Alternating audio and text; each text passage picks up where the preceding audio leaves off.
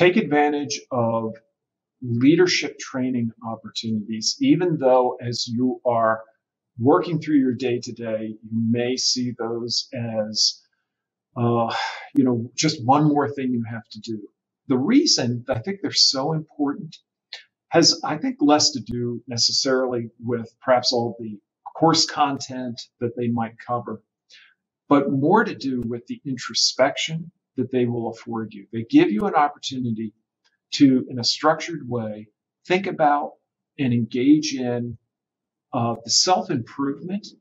that will put you in the best position for success as a leader as you go forward. They'll also pass on to you some of the important uh, tips that everyone needs to have uh, if you want to avoid repeating the mistakes of the people who went before you.